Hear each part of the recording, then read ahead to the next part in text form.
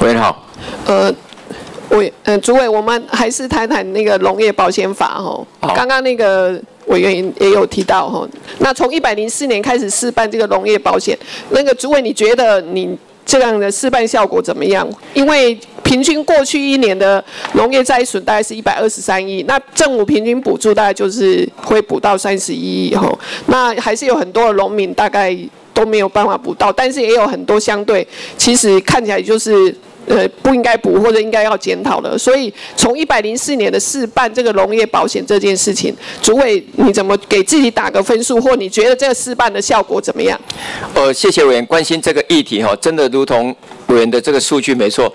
天然灾害所造成的损失，农民透过我们现在的天然现金灾救助的办法，他只平均拿到两成到三成，你还是有七成。左右是被提供被他收去，所以我们才要实施农业保险。那至于试办的话，各位报告之前我都会亲自每个月召开会议，审每一个保单跟要求的进度。到目前为止，大概有三万六千多个农民参加，有六万公顷的这一个面积加入，投保金有八十四亿。我是给你讲吼，大概勉强打分数的话，大概是。勉强及格六十分而已啦，其实我们还有很大的空间要再走，但是这个部分就是透过农业保险法来加持，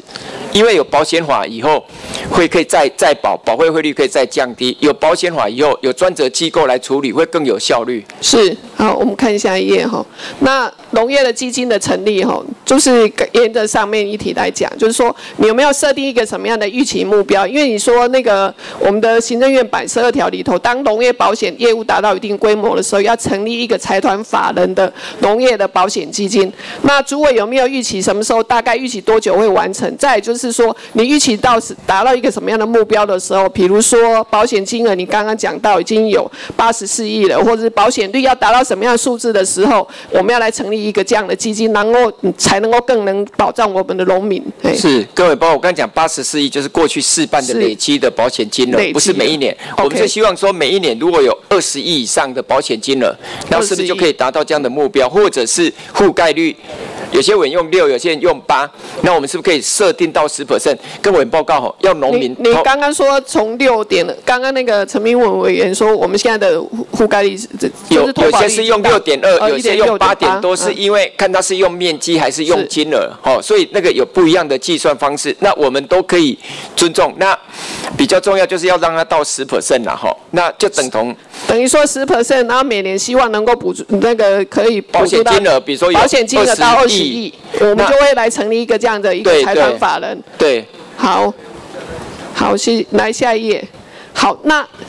比较关心的然后，因为现在呢，基本上呢，你们又裁了，就是什么全部投保，或者是部分强制投保，或者是自愿投保。那什么时候呢？农委会要全面的强制来投保？哦，我而且强制投保之下呢，你要如何来维持一个什么财务？我觉得在台湾目前这种环境，没办法，你全面要强制投保，难上加难。那个投保金额产品哈，看它是水稻还是香蕉还是梨还是水产，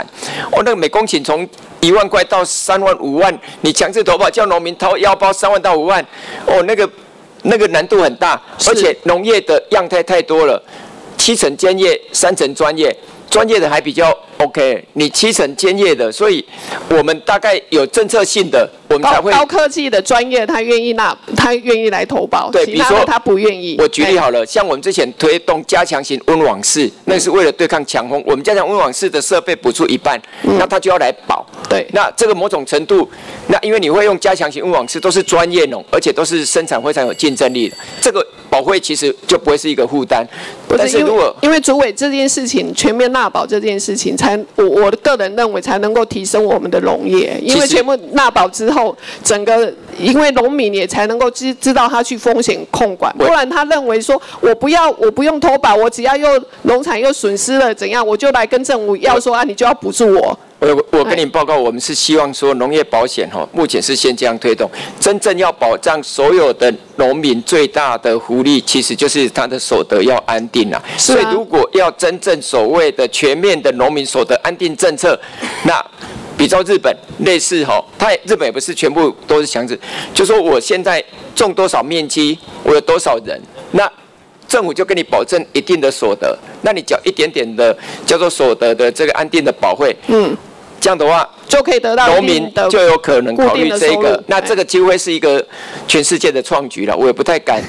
这样直接贸然去做。我们可以找乡镇的方式去做。好，我们看下一页。其实讲来讲去，很多就是农民团体到底愿不？